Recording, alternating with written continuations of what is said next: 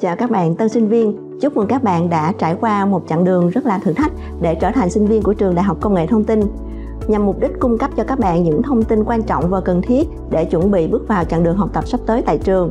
Hôm nay cô đại diện cho phòng đào tạo đại học và văn phòng các chương trình đặc biệt trình bày đến các bạn một số vấn đề về học vụ. Và cô nhắc lại đây là những thông tin rất quan trọng và các bạn sẽ phải chủ động tìm hiểu thêm. Nội dung trình bày của cô sẽ chia làm 3 phần và trong clip đầu tiên này thì cô sẽ đề cập đến những vấn đề cần biết để chuẩn bị bước vào học kỳ đầu tiên tại trường. Trong quá trình học của mình thì các bạn phải sử dụng thường xuyên hai hệ thống thông tin. Thứ nhất là cổng thông tin sinh viên với đường dẫn là student.uit.edu.vn như các bạn thấy trên màn hình. Thì tại đây các bạn xem được các quy định quy chế liên quan đến đào tạo, cũng như là các thông báo của phòng đào tạo đại học và tại đây mình cũng xem được chương trình đào tạo của mình. Các bạn có thể đăng nhập vào cổng thông tin sinh viên bằng account chứng thực đã được cấp. Thì sau khi đăng nhập vào, các bạn xem được thông tin lý lịch cá nhân của mình, thời khóa biểu, điểm số học phí, cũng như là thực hiện được một số chức năng của sinh viên như là đăng ký bảng điểm, đăng ký phúc khảo, vân vân. Hệ thống thông tin thứ hai mà chúng ta phải sử dụng thường xuyên nữa, đó là website môn học, gọi tắt là Moodle courses.uit.edu.vn đây là kênh giao tiếp chính thức giữa giảng viên và sinh viên. Các bạn đăng nhập bằng account chứng thực vào thì sẽ thấy danh sách các lớp học của mình. Và tại mỗi lớp học chính là một website con của Moodle. Nơi đây thì các giảng viên sẽ đưa tài liệu học tập bài tập à, các bạn sinh viên sẽ làm bài và nộp bài tại đây.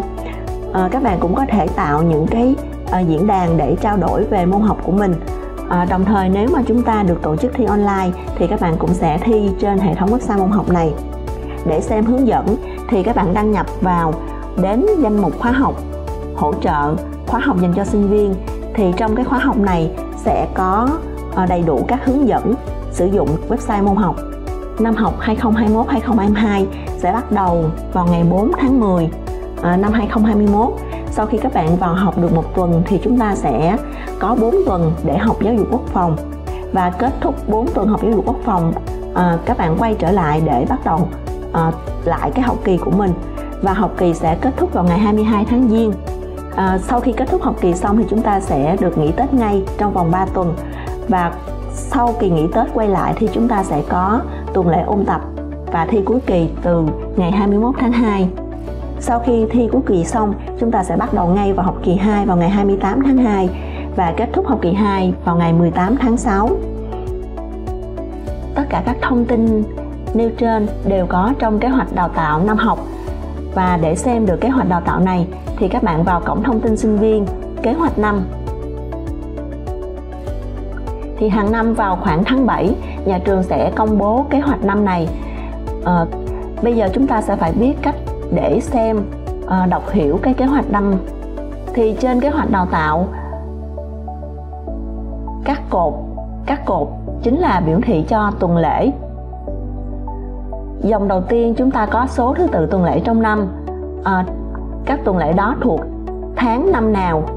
Và dòng thứ ba là các tuần lễ với cái ngày bắt đầu của tuần lễ tức là đây là ngày thứ hai của một tuần. Thì khi nói là kế hoạch ở năm đó chúng trong tuần lễ đó chúng ta sẽ làm gì? Thì chúng ta sẽ dùng là tuần 16 tháng 8 hoặc là tuần 23 tháng 8 thì tức là chúng ta đang nói đến ngày thứ hai đầu tuần. Còn các dòng chính là các hệ đào tạo cũng như là các hoạt động uh, khóa luận tốt nghiệp xét tốt nghiệp tuyển sinh xử lý học vụ. Ở đây chúng ta sẽ biết được là các kế hoạch thực hiện các hoạt động này. Ở bên dưới cùng bên tay trái của kế hoạch năm thì các bạn sẽ thấy các ghi chú. Đây là các từ viết tắt mà chúng ta cần phải hiểu để khi đọc kế hoạch năm. Thì ví dụ ở đây chúng ta sẽ có viết tắt của ký tự là NG này là nghỉ học T là tuần thi học kỳ tập trung D là tuần dự trữ đây là tuần chúng ta không không có học nhưng mà chúng ta sẽ có học bù hoặc là ôn tập. Chữ K tức là kỳ, tuần kiểm tra giữa kỳ tập trung. Với tuần lễ mà có chữ K này thì các bạn sẽ được nghỉ học để thi giữa kỳ đối với tuần lễ có ký hiệu là K sao thì đây là khoảng thời gian kiểm tra giữa kỳ những môn không tổ chức thi tập trung. Và chúng ta vẫn đi học bình thường.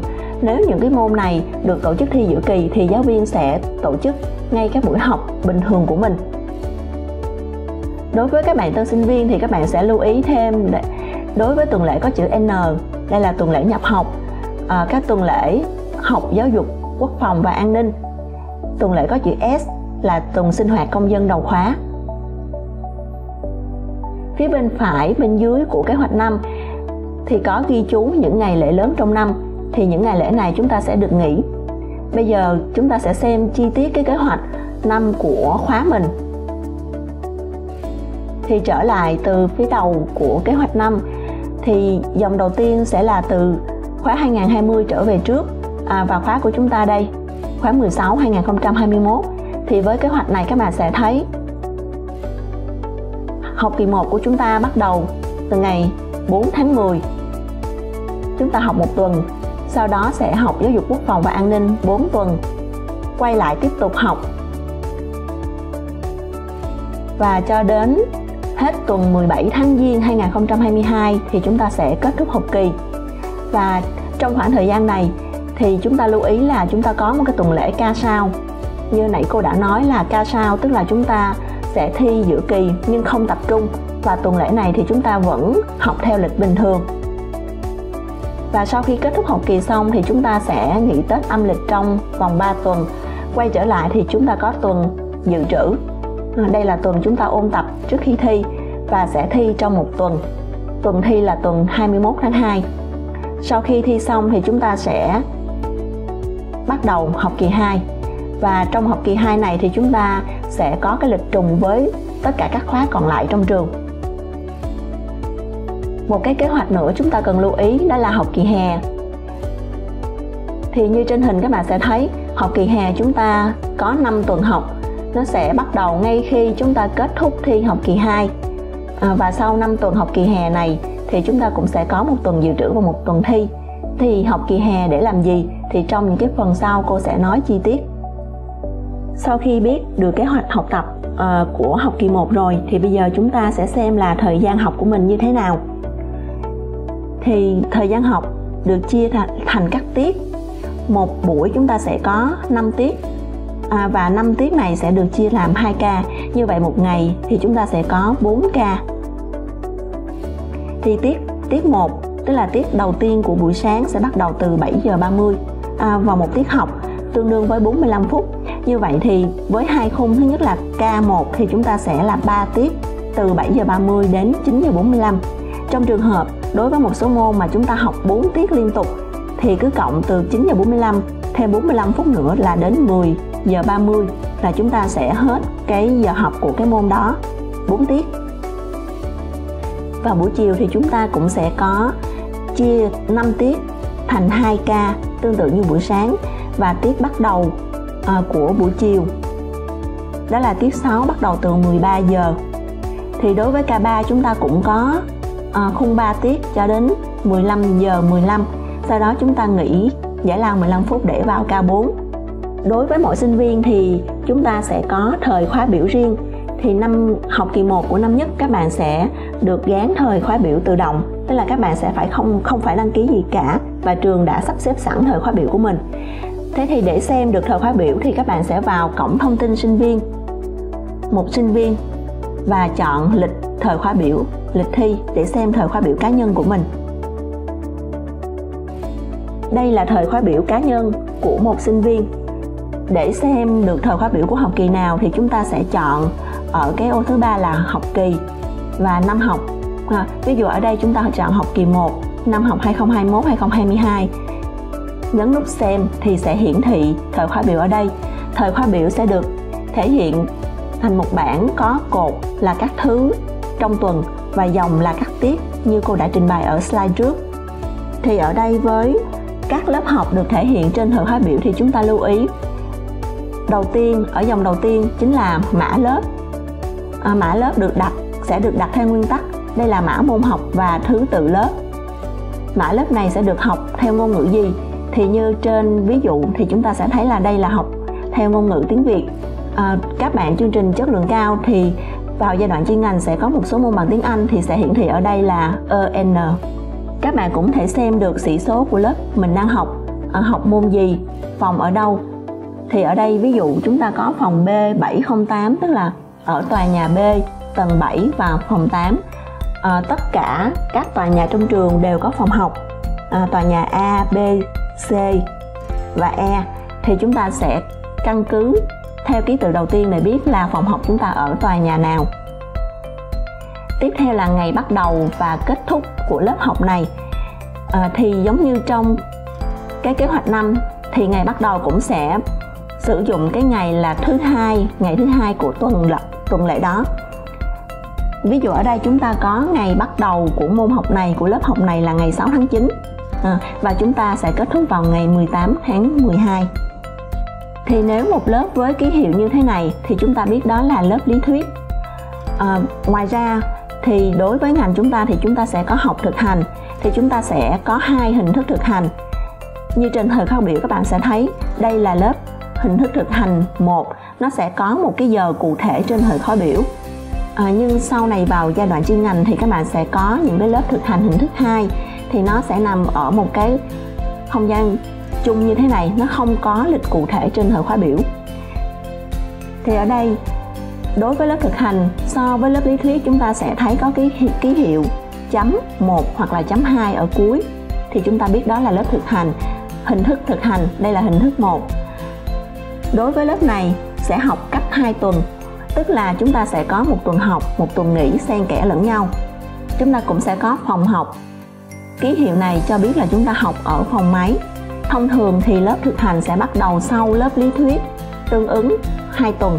Ví dụ như trên đây chúng ta sẽ thấy lớp thực hành của môn môn này là sẽ bắt đầu vào ngày 20 tháng 9 trong khi lớp lý thuyết thì bắt đầu vào ngày 6 tháng 9 tức là chúng ta sẽ bắt đầu sau lớp lý thuyết. Còn lớp thực hành hình thức 2 thì không có lịch cụ thể, tuy nhiên giáo viên sẽ đăng ký cái lịch trong quá trình học à, dựa trên lịch rảnh của sinh viên thì đối với tuần nào mà giáo viên đăng ký có buổi dạy à, thực hành hình thức 2 thì cái tuần lễ đó trên thời, thời khóa biểu của các bạn các bạn mới thấy cái lịch học. Thì đối với lớp thực hành hình thức 2 sẽ không đi học theo à, thời gian cố định giống như là lớp thực hành hình thức 1 mà chúng ta sẽ học à, chỉ 1 phần 3 cái số tiết đối với các bạn chương trình đại trà thì chúng ta sẽ học uh, khoảng 3 buổi là tương đương với 9 tiết đối với các bạn chương trình chất lượng cao hoặc là chương trình tiên tiến thì chúng ta sẽ học ờ, uh, 5 buổi hoặc là tương đương 15 tiết. Như vậy thì uh, chúng ta sẽ vào thời khóa biểu để xem được là trong tuần đó chúng ta sẽ có những cái tiết học nào uh, những cái môn nào tại đâu để chúng ta đi học cho đúng. Tuy nhiên là trong thời gian hiện tại thì với tình hình dịch thì chúng ta vẫn sẽ học online chứ chưa có học cụ thể tại trường chưa có học offline tại trường thì đối với việc học online học trực tuyến à, trường chúng ta sẽ sử dụng phần mềm Microsoft Teams. Để vào à, sử dụng phần mềm Microsoft Teams này thì các bạn sẽ được cấp một tài khoản Office 365 có dạng mã số sinh viên a ms.uit.edu.vn các bạn hết sức lưu ý là tài khoản này khác với tài khoản email của sinh viên. Tài khoản email là gm còn đây là tài khoản Microsoft thì sẽ là ms các bạn phải dùng tài khoản cho chính xác. Thì account của các bạn đã được cấp. À, các bạn có thể tra cứu account khi vào cổng thông tin sinh viên vào mục sinh viên và thông tin tài khoản Office 365 về hướng dẫn sử dụng phần mềm Microsoft Teams và các quy định khi mà chúng ta học trên đây thì các bạn có thể xem hướng dẫn sử dụng tại website văn phòng các chương trình đặc biệt mục học vụ hướng dẫn dành cho sinh viên mục số 17 thì tại đây các bạn có thể xem được uh, một file YouTube hướng dẫn uh, chi tiết để chúng ta vào uh, thao tác trên phần mềm này. Đồng thời sẽ có hai tài liệu hướng dẫn. Thứ nhất là tài liệu hướng dẫn chi tiết và thứ hai là phần hỏi đáp liên quan à, đến cái phần việc sử dụng phần mềm này. À, và trong quá trình sử dụng nếu mà các bạn à, vẫn có à, vấn đề gì đó không thể sử dụng được à, thì chúng ta có thể liên hệ à, đến phòng đào tạo văn phòng các chương trình đặc biệt hoặc là chúng ta có thể post à, ờ, trên forum sẽ có người hỗ trợ chúng ta. Quay trở lại với kế hoạch học à, của học kỳ đầu tiên này thì như cô nói lúc đầu là sau khi chúng ta vào học một tuần để làm quen với lớp với các thầy cô thì chúng ta sẽ có 4 tuần học giáo dục quốc phòng. Thì thời gian học giáo dục quốc phòng là từ ngày 11 tháng 10 à, và cũng vì tình hình dịch cho nên à, chúng ta sẽ học online. À, thông thường thì đợt học giáo dục quốc phòng này chúng ta sẽ học à, tập trung tại trung tâm giáo dục quốc phòng. Tuy nhiên đợt này chúng ta học online và học như thế nào thì các bạn cũng sẽ phải theo dõi thông báo tại cổng thông tin sinh viên một thông báo chung. À, sẽ có cái thông báo chi tiết hướng dẫn việc ừ, học ở đây việc chia lớp như thế nào học online trên phần mềm nào vân vân. Và trong suốt quá trình học của mình uh, có bất cứ vấn đề gì liên quan đến vấn đề học tập thì các bạn có những cái kênh thông tin sau đây để liên hệ. Đối với sinh viên chương trình đại trà thì các bạn liên hệ phòng đào tạo đại học. Phòng đào tạo đại học có website ờ, uh, daa.uit.edu.vn e thực tế thì đây cũng chính là cái cổng thông tin sinh viên của các bạn.